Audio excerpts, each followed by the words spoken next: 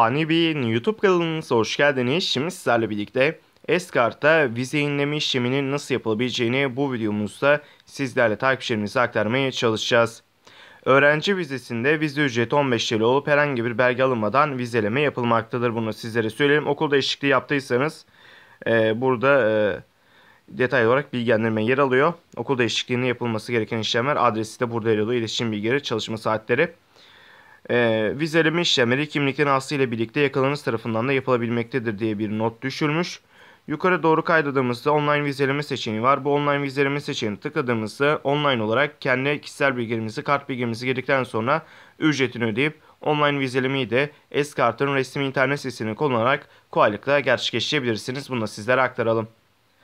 Videomuz bu kadardı. Umarım videomuzu beğenmişsinizdir. Videoyu beğendiyseniz aşağıdan beğen butonuna tıklamayı unutmayın.